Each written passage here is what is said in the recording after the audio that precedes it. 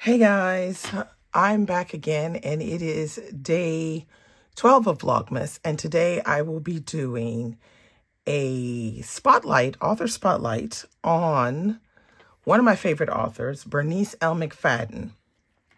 Okay, now, Bernice L. McFadden is a writer that has pretty much followed me uh, partially through college, and a little bit of the earlier, you know, years of my like adult life. And she is a fantastic writer. She tells us in-depth stories uh, where her main character is usually someone who feels like someone we could know. And she somehow manages to do this no matter what station in life they have. So I'm going to talk about her novels as we go along. Uh, one of the first ones that I read was this one right here, which is called Sugar. And I I just absolutely love, love, love this novel. It is a novel that explores the friendship between a sex worker and a housewife.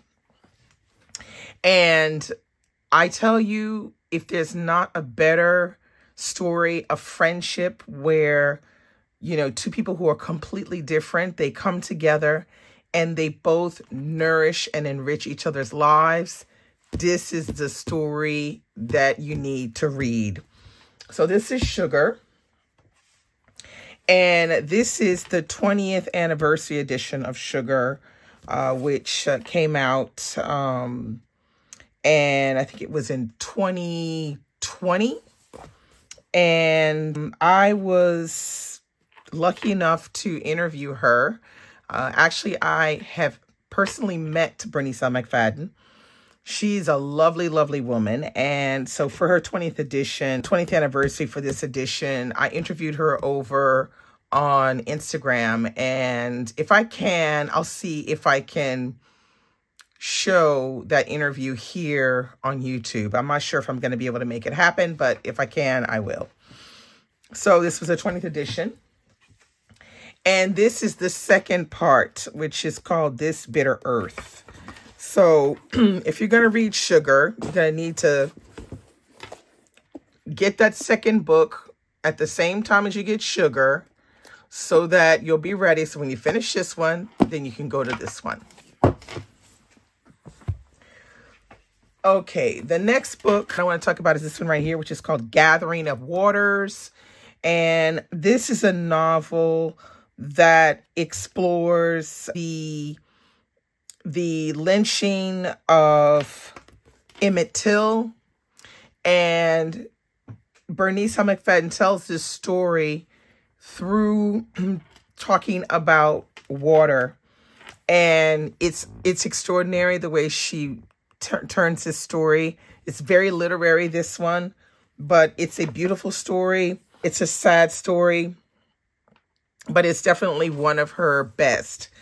So on the back, it says, in her new novel, Gathering Waters, Bernice McFadden brings her own special vision to the unfortunate story of Emmett Till and his murder in Money, Mississippi. This moving and magical novel, which traces the generations leading up to and away from the horrible night in 1955, drew me in immediately and swept me along through its richly imagined world. I couldn't stop reading, caught up as I was in that enticing place between truth and fantasy, the here and now and the what was, the living and the dead, the ugliness and the beauty, the hatred and the love.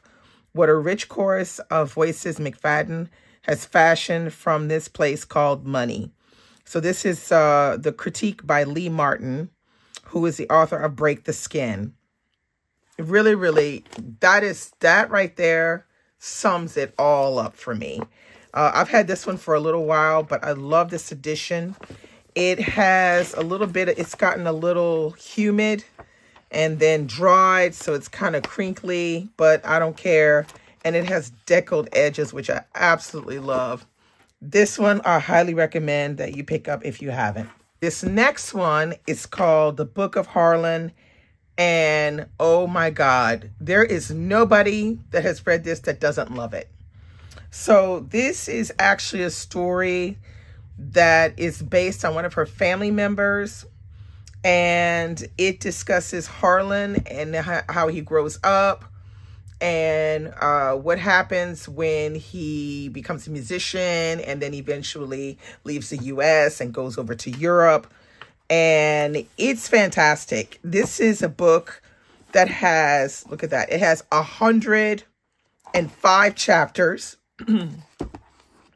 but the thing about it is the chapters are really short. So that makes the book extremely readable and it's hard to put down.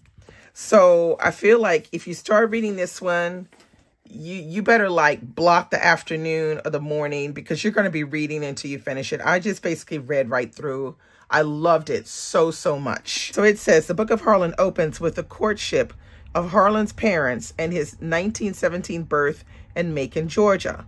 After his prominent minister grandfather dies, Harlan and his parents move to Harlem where he eventually becomes a professional musician. When Harlan and his best friend, trumpeter Lizard Robbins, are invited to perform at a popular cabaret in the Parisian enclave of Montmartre, affectionately referred to as the Harlem of Paris by Black American musicians, Harlan jumps at the opportunity, convincing Lizard to join him. So I'm just going to stop reading there. Get the book, y'all. This one is super, super good. Okay, so this next one is a really interesting story. It's called Nowhere is a Place. And it explores the relationship between a mother and a daughter. So the crux of the story or the the main issue of the story is brought out by an incident that happens in the past. So something happened and the mother slaps the daughter's face. And from this moment on, the daughter is in she's like in a, in a questioning mode like like why did she slap me? And it's from there that the story kind of develops into a lot more. And I tell you, it's done in such an interesting way because the relationship between the mother and daughter is essentially develops and grows through a road trip that they take together. So the daughter is driving and the mother is riding and she's reading out of a journal. And let me tell you, this one is really interesting. I don't know how she came up with this idea, but it's fantastic way to talk about mother-daughter relationships. So this one, it says, nothing can mend a broken heart quite like family. Sherry has struggled all her life to understand who she is, where she comes from, and most important, why her mother slapped her cheek one, one summer afternoon. The incident has haunted Sherry, and it causes her to dig into the, her family's past. Like many family stories, it is fractured and stubbornly reluctant to reveal its secrets, but Sherry is determined to know the full story. In just a few days' time, her extended family will gather for a reunion, and Sherry sets off across the country with her mother, Dumpling, to join them. What Sherry and Dumpling find on their trip is far more important than scenic sights here and there. They discover the assorted pieces of the family's past, Pulled together, they reveal a history of amazing survival and abundant joy. So good, this one. This next one I have for you is called Praise Song for the Butterflies. This is one of her recent novels. If I'm not mistaken, let's see. This one came out. There's a beautiful picture of Bernice McFadden. This one, and there's a lovely autograph. This one came out in 2018, sorry. and this one takes place in Africa. And it, it takes place in West Africa to be particular. And it follows this character who's called Abeyo Kata. And in her family, they have a lot of money problems.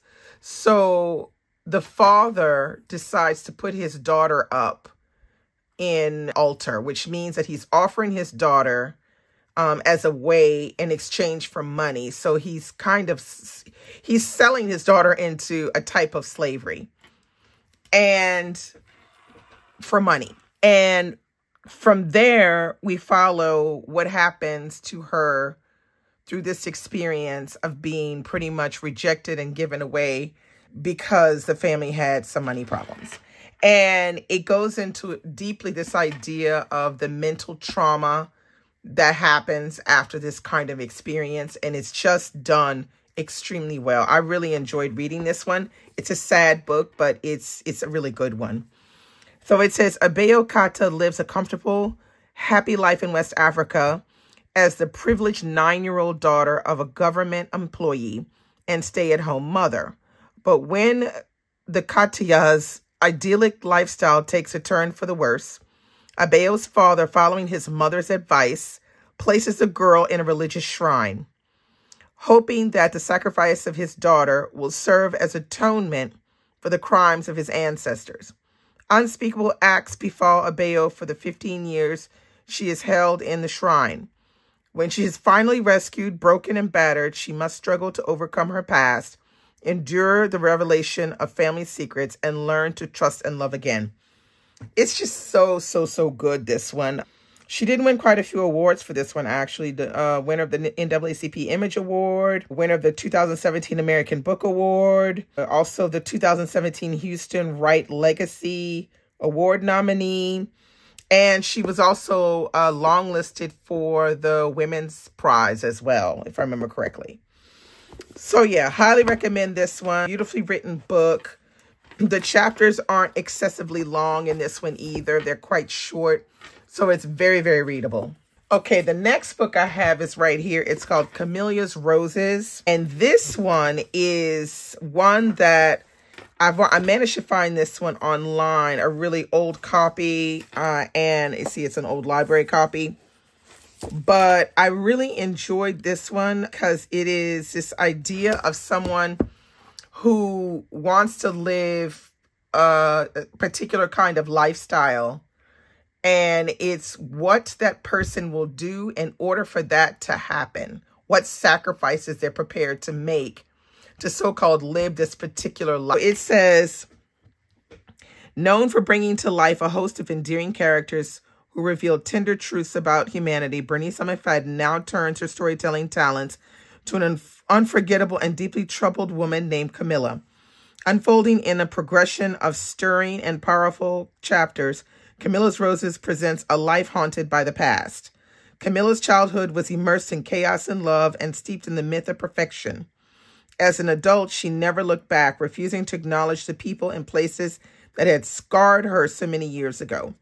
But a legacy of cancer proves inescapable, forcing Camilla to embrace the past, no matter how painful it may be, and to salvage what is left of her love in order to save her daughter. As Camilla discovers the bittersweet limitations of motherhood and reconciliation, she's also awake, awakens an inspiring message about the morality about the morality issues we all must face.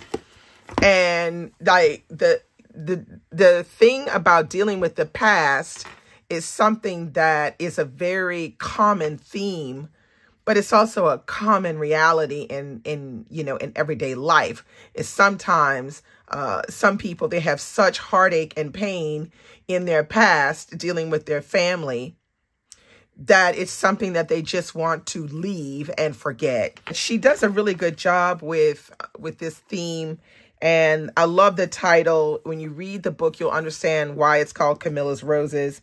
And yeah, it's it's a very quick read as well because it's it's her books aren't very long. But let me tell you, they pack a punch. It really is an example of why it's not necessarily the longest book that's the best book. From what I've learned from her writing is if you can get the right words together and you can get the right combination of themes and you can get larger than life characters written down, you have yourself a good story and it doesn't have to be 600 and something pages.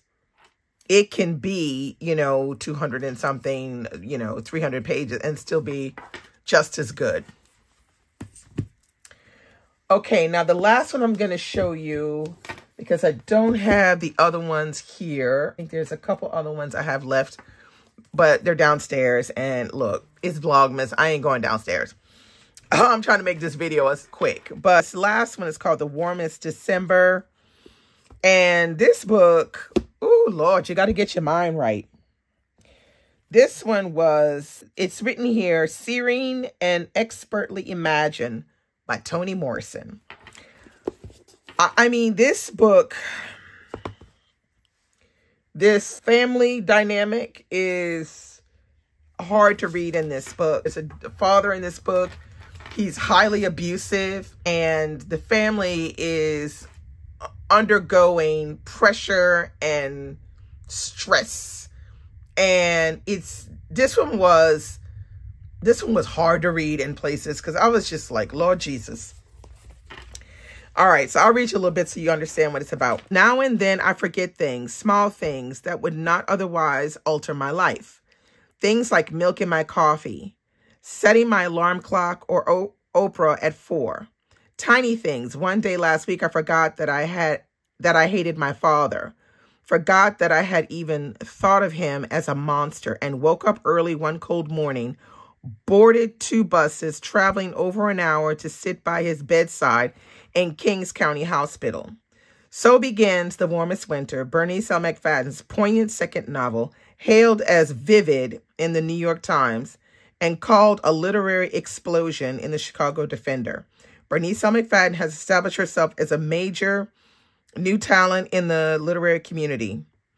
So it says here, childhood can be rough, but for Kinsey growing up in the low home means opening the bottom drawer of her father's dresser to choose which of the three belts coiled, waiting like snakes she wants to get whipped with. Trips to beehive liquors for his for her father's vodka, and dreaming of the day she can escape apartment A5. Eventually, Kinsey does grow up and leave A5. She goes to school, she holds odd jobs, and develops her own craving for the bottle. 20 years have passed. It's now the 90s. But not everything has changed for Kinsey. She is still haunted by her childhood and learning that her father is dying. She is shocked by her own desire to be with him during his final hours. So, you know, this book it was it was super difficult to read because like this man was brutal and he was not a father to her. It's like why is she wanting to go and sit at this man's bedside like he does not deserve it. But I highly recommend you read it because Bernice is very good at, like I said, developing storylines that are very realistic. And it is a realistic scenario. So highly recommend this one. So that's all I have for you today. That's my author spotlight on Bernice L. McFadden. I highly recommend you go and pick up some of her books. She's a fantastic writer and really worth exploring if you haven't explored her work. She really is a fantastic writer, like I said, who really does write about the Black community. And she also writes very pertinent main characters unforgettable main characters. Some of these you will never forget. You'll always remember who they are. So comment below and tell me if you've read any Bernice McFadden, if you're interested in reading any, and if so, which one of these are you interested in reading? Uh, and let's talk about it below. And I'll see you tomorrow, guys. Bye.